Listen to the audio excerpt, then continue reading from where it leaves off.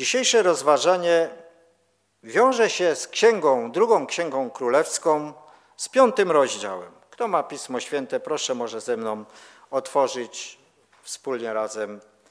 Będziemy może y, czytać pewien fragment. Jest to historia dosyć dobrze nam znana. Druga Księga Królewska, piąty rozdział. Jest tam opisana historia Namana.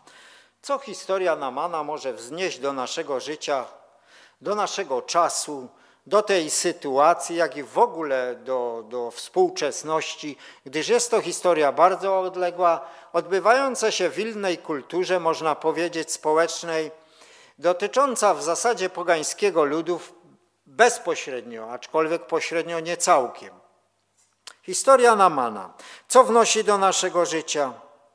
Pogański człowiek to Naman oczywiście, wojskowy człowiek to Naman oczywiście, y, okupant wobec Izraela to również Naman i jego zastępy wojskowe, które okupowały Izraela.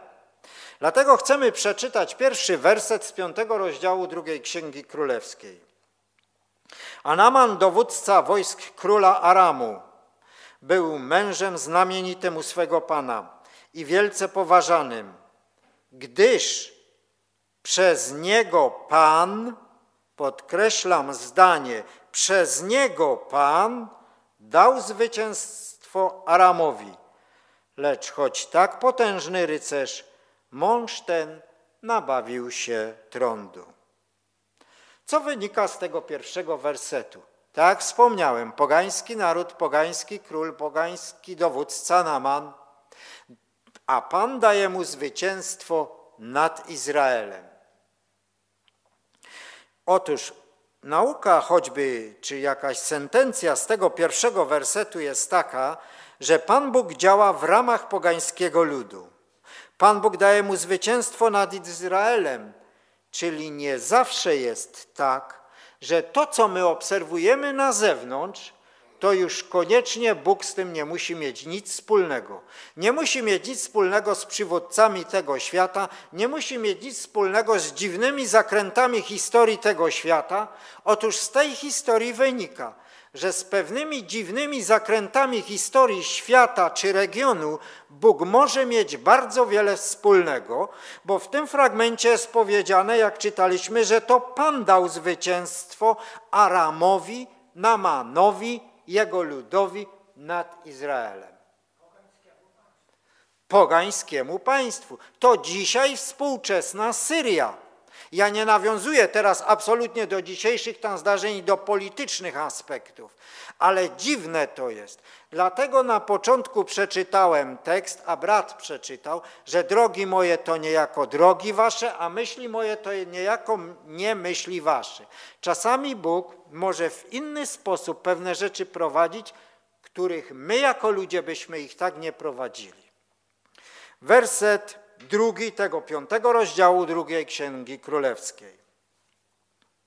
A gdy raz Aramejczycy, czyli ten lud Namana, a gdy raz Aramejczycy wyruszyli na łupieszczą wyprawę, uprowadzili z ziemi izraelskiej małą dziewczynkę, która usługiwała żonie Namana.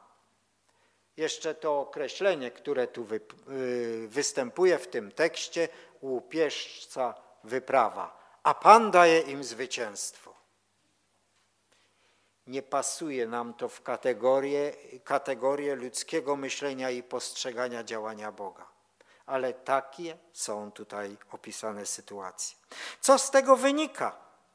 Mianowicie to, że Bóg realizuje swój program ponad wszelkie plany ludzkie i On trzyma berło historii świata w swojej ręce Wykonawcami Bożych planów w historii świata było wielu pogańskich królów. Nabukadnezar, Cyrus i teraz rozważany tekst, czyli król Aramu. Wykonawcami Bożych planów byli ci ludzie, Gdybyśmy to my mieli realizować jakieś szczytne cele w historii społeczności czy świata, z pewnością byśmy pomijali tych ludzi. A tutaj zupełnie coś innego.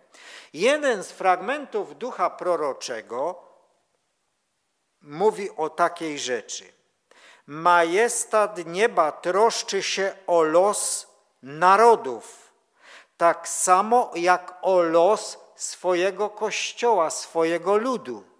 A więc Bóg jakby nie czyni tu różnicy w trosce o swój lud od troski o los narodów.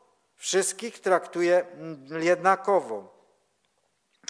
Dalej y, czytamy takie zdanie. Znowu fragment ducha proroczego. W ziemskich kronikach pisze się o rozwoju narodów, powstania i upadku różnych państw, tak jak gdyby zależało to od woli i waleczności człowieka. Wydaje się, że bieg wydarzeń w znacznym stopniu uzależniony jest od siły człowieka, ambicji człowieka czy kaprysu człowieka.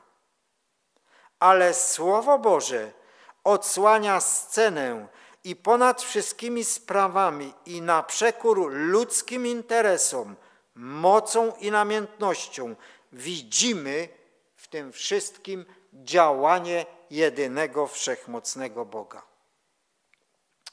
Tutaj, kiedy czytałem ten fragment tego ducha proroczego w domu, przypomina mi się historia naszego kraju i lata, yy,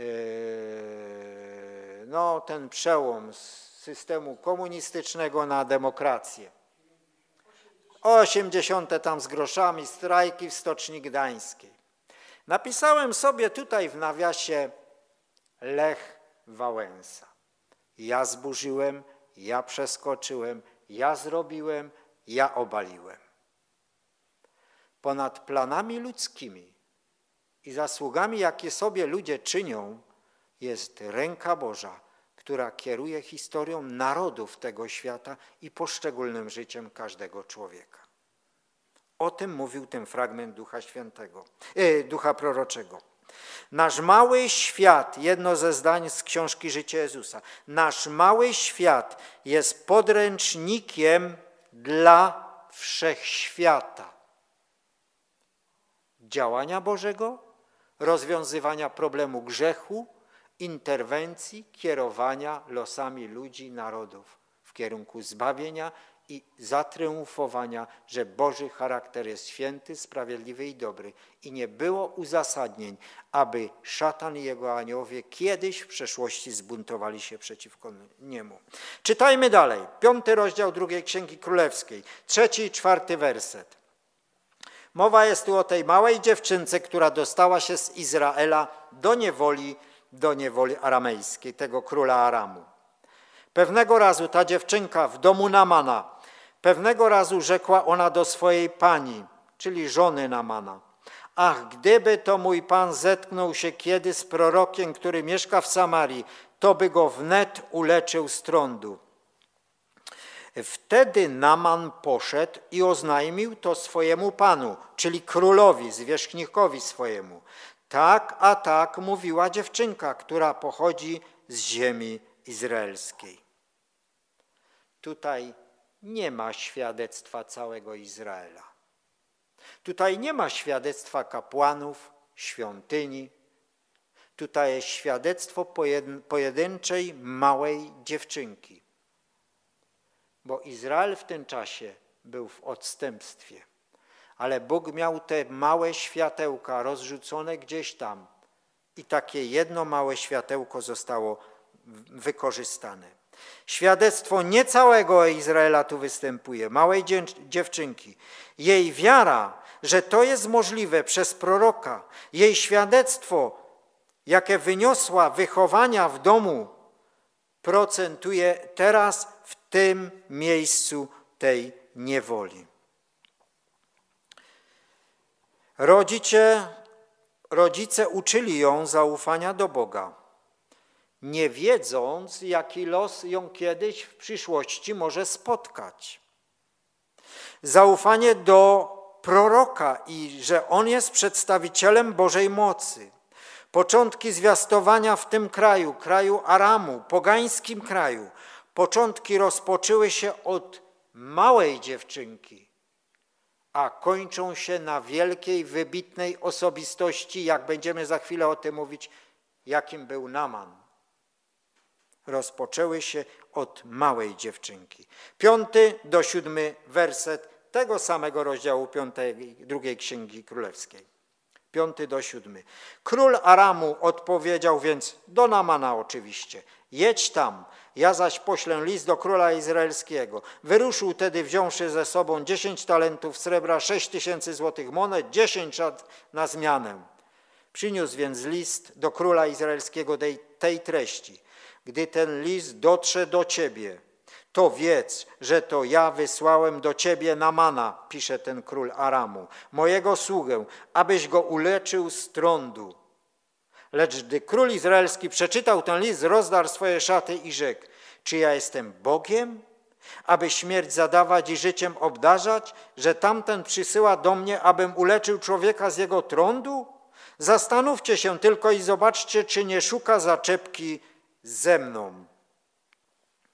Król izraelski nie wie, co z tym problemem zrobić. Jak go rozwiązać? Jego myśli są od możliwości Bożych. Król nie widział, nie wiedział, jakby nie wiedział, że jest prorok w Izraelu. Król jakby zapomniał, że Bóg cudownie kiedyś w przeszłości w historii Izraelu działał i dokonywał takich rzeczy, że okoliczne narody naprawdę się temu dziwiły. Teraz stoi przed wyzwaniem, które przerasta jego możliwości i nie wie, co z tym zrobić. Żeby to nie była też paralela na nasze współczesne czasy że stanęliśmy przed murem dziwnych zdarzeń, okoliczności, z których nie wiemy, jak sobie poradzić. I król Izraela podobnie nie wiedział, co z tym zrobić. Całe szczęście, że w Izraelu był ktoś, kto czuwał nad królem i nad całą tą sprawą. Ósmy i dziesiąty werset. A gdy do Elizeusza, męża Bożego, dotarła wieść, że król izraelski rozdarł swoje szaty, posłał do króla izraelskiego oczywiście, i kazał mu powiedzieć, Elizeusz, dlaczego rozdarłeś swoje szaty? Niech tamten przyjdzie do mnie i dowie się, że jest prorok y, w Izraelu. Przybył tedy Naman ze swoimi końmi, ze swoim powozem i stanął przed drzwiami domu Elizeusza. Wtedy Elizeusz wysłał do niego posłańca z takim poleceniem: Idź i obmyj się siedem razy w Jordanie, a twoje ciało wróci do zdrowia i będziesz czysty. Boży prorok czuwa nad zbiegiem zdarzeń, nad królem i doradza rozwiązanie. Czuwa nad Namanem, czuwa nad jego problemem, znając jego problem. Przychodzi dowódca okupanta, a Elizeusz ma dla niego rozwiązanie. Nie wiem, powiem dosadnie, czy my jako adwentyści byśmy w ten sposób rozwiązali ten problem do tego, który nas krzywdzi, do tego, który jest nam przeciwny, do tego, który okupuje nasz kraj, ograniczając nam wolność. Słynne słowo w ostatnich czasach używane moja wolność osobista. Nie wiem, obawiam się, że nie. I teraz Naman staje przed Elizeuszem i Elizeusz mówi, co następuje. Powtórzę ten wiersz dziesiąty i doczytam do dwunastego. Wtedy Elizeusz wysłał do niego posłańca z takim poleceniem. Idź i obmyj się siedem razy w Jordanie, a twoje ciało wróci do zdrowia i będziesz czysty. Na to Naman oburzył się i odchodząc powiedział, oto myślałem sobie, że wyjdzie, stanie przede mną, potem wezwie imienia Pana Boga swego i podniesie swoją rękę nad chorym miejscem i usunie trąd. Czy rzeki damasceńskie, te z Damaszku, Abna i Parpar, nie są lepsze od wszystkich wód izraelskich? Czy nie mogłem w nich się obmyć i oczyścić? Potem odwrócił się i odszedł, pałając gniewem. Tu jest pokazana reakcja ludzka. Tu jest pokazany swój sposób religijności. i myślenia, sposób myślenia.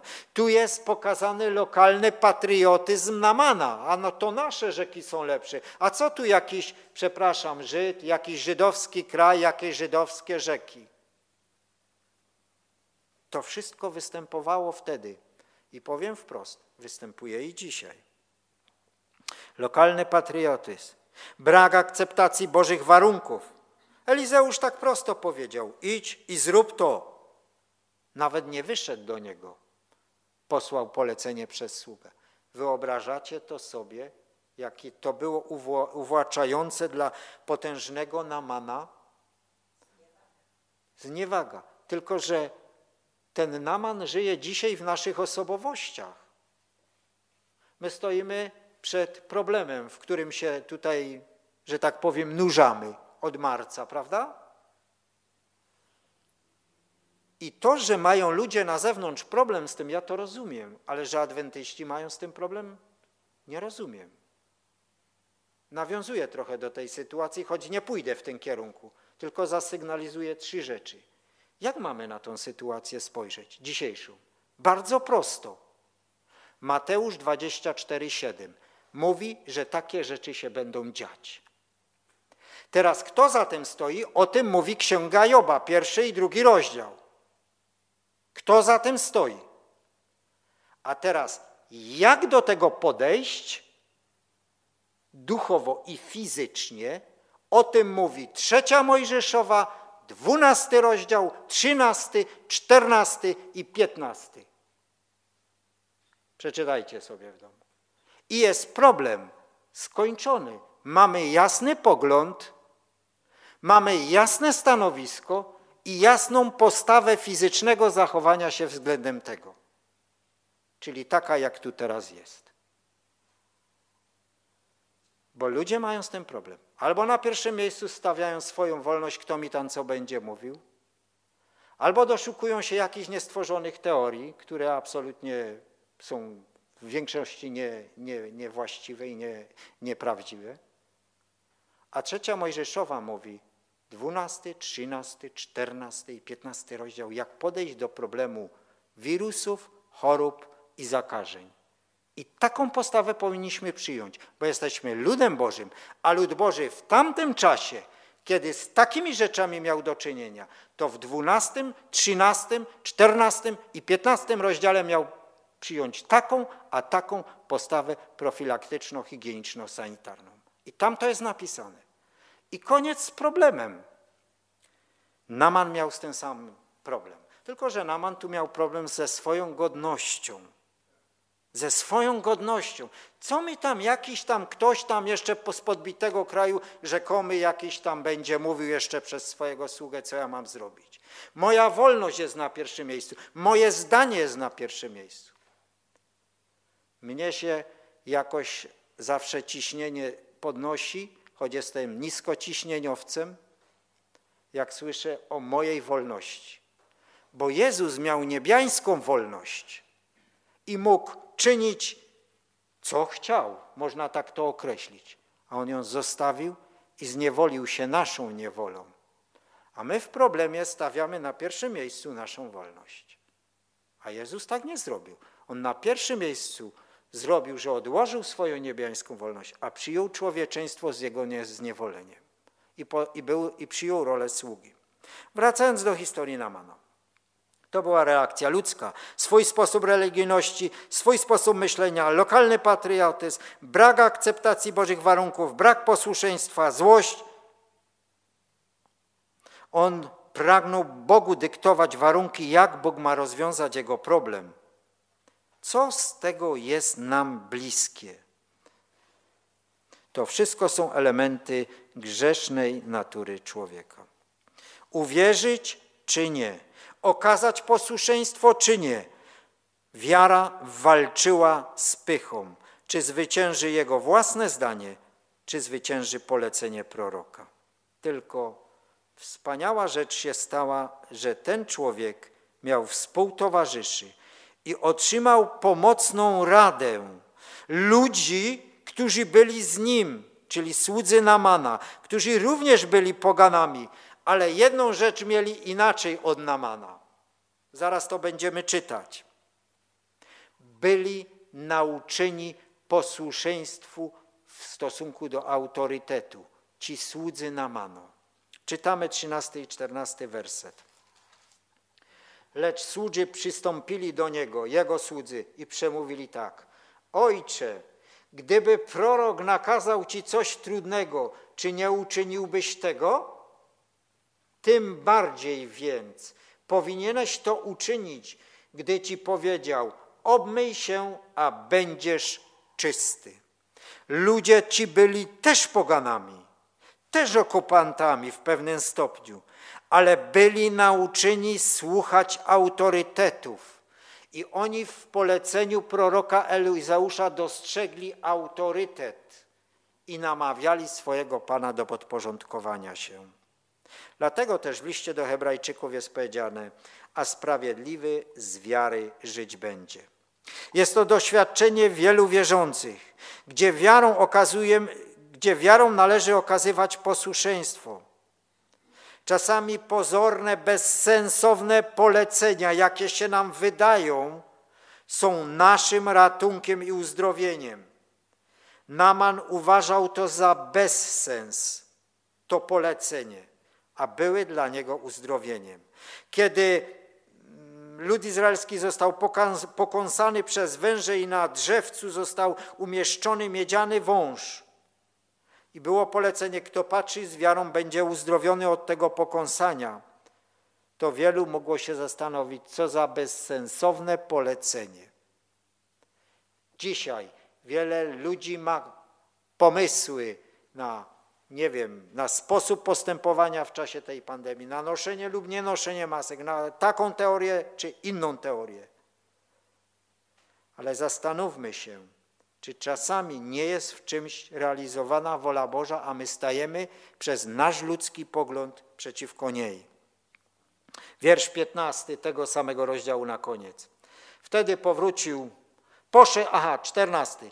Poszedł więc i zanurzył się w Jordanie siedem razy według słowa męża Bożego, a wtedy jego ciało stało się znowu czyste jak ciało małego dziecięcia. Wtedy powrócił do męża Bożego wraz z całym swoim orszakiem, a przyszedłszy tam, stanął przed nim i rzekł, oto teraz wiem, że nie ma w całej ziemi Boga jak tylko w Izraelu. Przyjmij zatem ten dar dziękczynny od Twojego sługi. Świadectwo poganina. Świadectwo nawróconego, który teraz jest zwiastunem żywego Boga. Boga, który ma moc. Już nie mała dziewczynka, która nie ma wpływu na szersze gremium, jak tylko na żonę Namana miała w jakiś sposób wpływ. Teraz świadectwo nawróconego poganina o Bogu, który ma moc. O wiele większy, szerszy wpływ teraz spływa na naród Aramu, ze strony Namana, bo jest on człowiekiem wpływowym. Społeczeństwo Aramu, pogańskiego tego narodu było oświecone potęgą Boga Izraelskiego przez świadectwo ich wybitnego wodza Namana. Ale coś na koniec wam teraz przeczytam. I to jest dziwne. Werset 16 i 19, a szczególnie jedno zdanie. No i tam Naman proponuje podarunek dla Elizeusza w 15 wersecie i 16 werset. Elizeusz mówi, lecz on odpowiedział, jako żyje Pan, przed którego obliczem stoję, że nic nie przyjmę, żadnego podarunku za tą usługę, za to uzdrowienie. A choć nalegał nań, aby przyjął stanowczo, Elizeusz oczywiście odmówił. Naman więc rzekł, jeżeli nie to, Niech dadzą Twemu słudze tyle ziemi, ile udźwignie paramułów. Gdyż sługa Twój nie będzie już składał ofiar całopalnych ani krwawych innym bogom, jak tylko Panu. Tu deklaruje Naman swoją postawę w swoim kraju. Nie będę już służył pogańskim bożkom. Ale osiemnasty werset jest dziwny.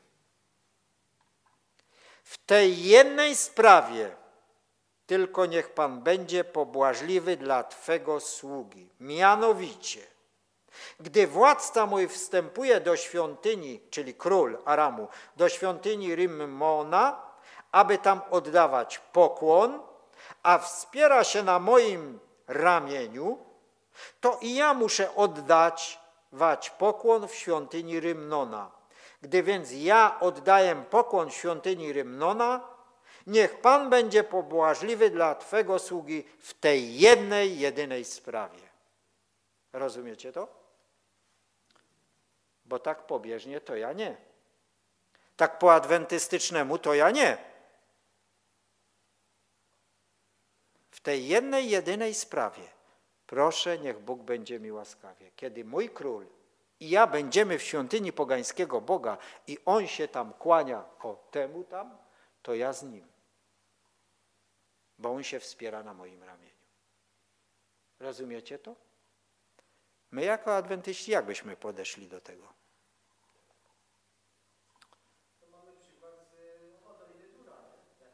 No ale tam się nie pokłonili. A ten tu się z królem pokłoni. Ale przed tym przepraszał Boga za to. Przepraszam, ale to zrobił. Dziwne, nie? Jest rozwiązanie, przynajmniej myślę sobie, że jest rozwiązanie. Jak tutaj to było w tej pierwszej części, są pewne rzeczy, które z Biblii trudnych nie jesteśmy w stanie od, o, odpowiedzieć. I ja tak do końca nie wiem, jak na to odpowiedzieć. Ale jest pewien tekst, który mi troszeczkę otwiera na to oczy. I teraz Księga Objawienia Jana, drugi rozdział, 24 werset do 25. Ja to może odczytam bardzo powoli. Nawiążę tylko dwa zdania komentarza. Jest to z list do zboru Tyjatyra. Tyjatyra to okres, to okres w dziejach chrześcijaństwa bardzo ciemnego średniowiecza i tysiąca, miliony zabobonów, w których to tym środowisku tkwią ludzie, którzy Bogu chcą służyć. I teraz czytam. 24. Drugi rozdział objawienia. Wam zaś pozostałym, którzyście w Tyjatyrze, wszystkim, którzy nie macie tej nauki, którzyście nie poznali, jak mówią, szatańskich głębin, głębin, powiadam, nie nakładam na was innego ciężaru. Trzymajcie się tylko mocno tego, co posiadacie, aż przyjdę. Macie tyle światła w Tyjatyrze, tyle. Nie tyle jak my w XXI wieku, ale tyle. Trzymajcie się tylko tego. Król pogański to był ktoś, Inaman, który żył w takim świetle fałszywym. Otrzymał tyle i trzymaj się tego. I trzymaj się tego. I to jest to wyjaśnienie chyba tylko tej prośby, niech mi Pan wybaczy. Trzymaj się tego, co jest do Ciebie w tej chwili dostępne. Na tym można by powiedzieć, nie nakładam na Ciebie innego ciężaru. I to jest chyba tylko jedyne wytłumaczenie. Uroczyste nauki wynikające z tego przykładu, z historią Namana, uczą nas, że jest Bóg żywy w Izraelu, że jest Bóg mocny, że Bóg może czynić cuda. Niewiara wielu zamknęła błogosławieństwo w Izraelu. Skorzystał na tym poganin Naman na koniec. O czym sam Jezus Chrystus wspomniał w Ewangelii Łukasza 4,27, że wiele było wdów, ale Eliasz został posłany do wdowy Sarepcie. Wiele było trędowatych w Izraelu, ale został uzdrowiony tylko Naman Syryjczyk. Naman jest obrazem wiary ludzi którzy bardzo wysoko w hierarchii społecznej staną zdecydowanie po stronie Boga Izraelskiego i zostaną uleczeni z trądu grzechu na Bożych warunkach i będą reprezentami żywego Boga w środowisku pogańskim, można powiedzieć. A pozyskani zostaną przez skromne Boże narzędzie, bo Naman został pozyskany przez małą dziewczynkę. I wcale nie przy pomocy wielkich kazań, lecz prostego świadectwa, skromnych Bożych narzędzi. Jest Bóg w Izraelu, który ma moc. Okaz, okazuje, nadrze, okazuje na, okazje i nadarzające się coraz bardziej sytuacje pozwalają, że ten Bóg będzie czynił cuda. Bóg jest gotów czynić cuda dziś, ale potrzebuje ludzi, którzy mają wiarę, taką wiarę jak ta mała dziewczynka. Amen.